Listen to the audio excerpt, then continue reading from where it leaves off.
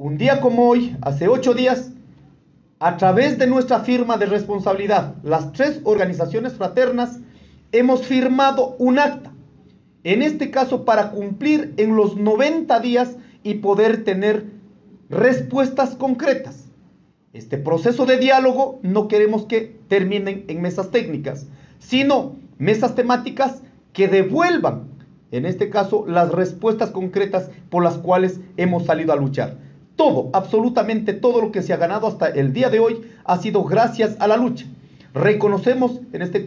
este caso los cuatro decretos emitidos que dan eh, una cobertura de siete temas, que aproximadamente da una cobertura de mil millones de dólares, lo que significaría como respuesta de manera concreta y de manera inmediata, garantizando la participación efectiva con condiciones técnicas, metodológicas, para que los problemas que están situados en las mesas podamos resolverla. El día de hoy,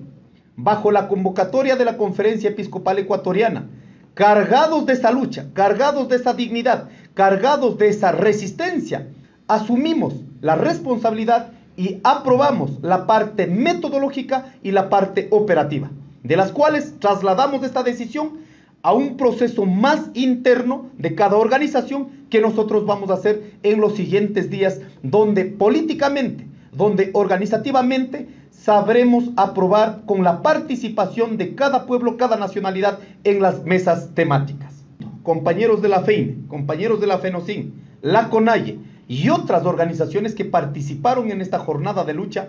invitamos y ratificamos también la unidad. Esta unidad está bajo un proyecto político, bajo demandas centrales que hemos emitido desde los sectores populares al gobierno y a las diferentes instancias del Estado. Tenemos una situación social muy compleja,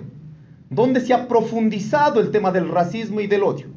Esperamos que los medios de comunicación masiva podamos ser un aporte en la construcción de una sociedad incluyente, una sociedad intercultural,